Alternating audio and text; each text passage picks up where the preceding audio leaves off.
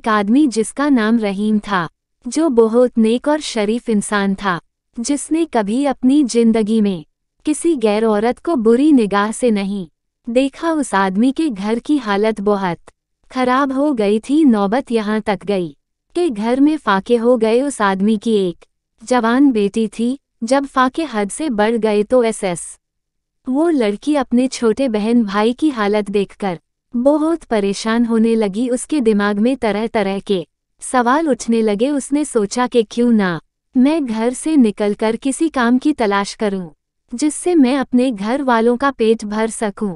उस लड़की ने ये सोचकर घर से बाहर अपने कदम निकाल लिए और काम की तलाश में बाज़ार में निकल पड़ी। कभी किसी के घर में काम मांगने गई तो कभी किसी की दुकान में, मगर किसी ने उसे काम नहीं दिया। वो थक हार कर अपने घर वापस लौट आई कई दिन तक रोज वो ऐसे ही, काम की तलाश में घर से बाहर जाती और शाम को थक हार के घर लौट आती जब कहीं भी उसे कोई काम नहीं मिला तो वो लड़की गलत कदम उठाने पर मजबूर हो गई, दिल में इरादा करके घर से निकली कि आज मैं अपना शरीर बेचूँगी और कुछ खाना खरीदूँगी। वो लड़की घर से बाज़ार जा पहुँची, जिस्म बेचने लड़की वहाँ गई और लोगों को अपनी तरफ़ आकर्षित करना शुरू कर दिया, वो लोगों को अपनी तरफ़ आकर्षित करने की कोशिश करती रही, लेकिन किसी ने भी उस पर ध्यान नहीं दिया।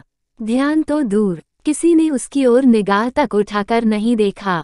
लोग आते और उसकी ओर नज़र उठाए बिना निकल जाते। इसी तरह खड़े खड़े लड़की को शाम हो गई, वो परेशान होकर घर की ओर कदम बढ़ाने लग गई। जब घर पहुँची तो अपने वालिद को परेशानी में देखा, दरवाजे पर बाप ने बेटी को देखा और पूछा, बेटी कहाँ गई थी?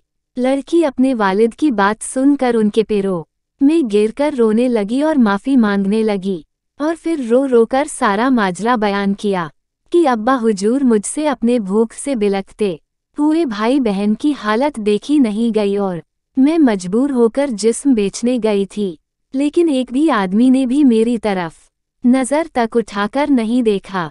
पूरी बात सुनने के बाद बाप ने अपनी बेटी से कहा कि बेटा तुम्हारे बाबा ने आज तक कभी किसी गैर औरत को आँख उठाकर नहीं देखा तो यह कैसे हो सकता था कि कोई तुम्हें नज़र उठाकर देखता? सबक, इसलिए अपनी गंदी निगाह किसी औरत पर मत डालो, क्योंकि नज़र गर्म बीज होता है जैसा बोओगे, कल को वैसा ही पाओगे।